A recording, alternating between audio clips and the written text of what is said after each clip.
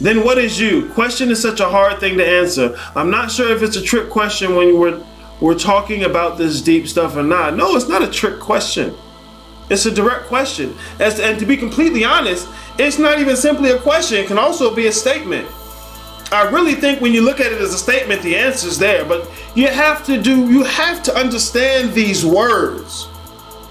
You have to understand these words. You have to challenge your understanding of things.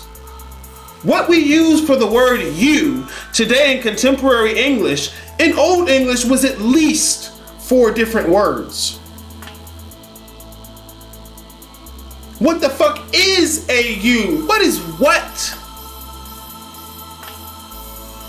This. That.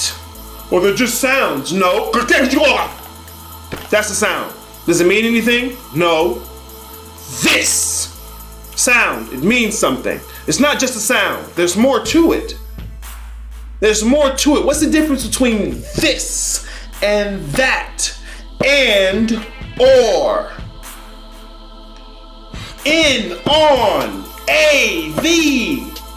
See, motherfuckers will spit the word all day based on how they feel, but they never check the tools they're using. What is you?